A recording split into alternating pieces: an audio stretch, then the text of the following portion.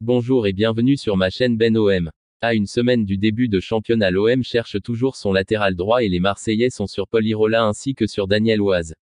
Ce qui concerne l'Espagnol, les dirigeants marseillais sont proches d'un accord avec la Fiorentina, on parle d'un transfert autour des 10 millions d'euros pour s'attacher les services du joueur.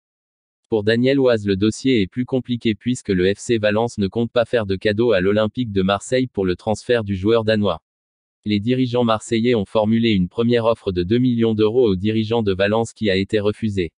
Le joueur de 32 ans a même reçu une offre de prolongation par son club, mais l'ancien joueur d'Evian a décliné l'offre espagnole. Daniel Oise veut absolument jouer sous les ordres de Jorge Sampaoli la saison prochaine. À seulement un an de la fin de son contrat, les dirigeants espagnols auraient tout intérêt de vendre le joueur sous peine de le voir partir libre la saison prochaine. Avec une équipe qui commence à se dessiner, l'Olympique de Marseille pour aider la semaine prochaine à voir tous ses joueurs pour commencer le championnat face à Montpellier.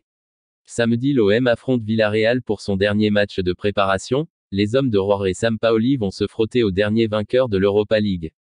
Merci d'avoir visionné ma vidéo, n'oubliez pas de vous abonner et à bientôt.